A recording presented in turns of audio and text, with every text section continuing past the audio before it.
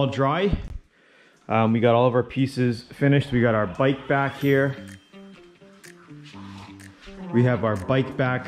Um, I'm gonna go ahead and clean this up. We do have an oil leak that it seems like I have to address uh, right over here. I think it's leaking, so I have to check that out.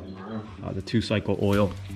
Um, I'm gonna wash it down, take all the dust out and just clean it up quick. And then uh, we're gonna start putting our panels on.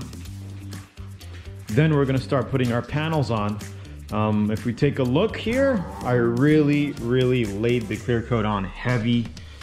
Um, you can just see how heavy it is. And you can see the fade, you can see how glassy, literally like glass. Um, it might die back a little, but I don't think it's gonna change much. Um, you can see how thick our candy was. Okay, I do still feel something here. It's not totally smooth.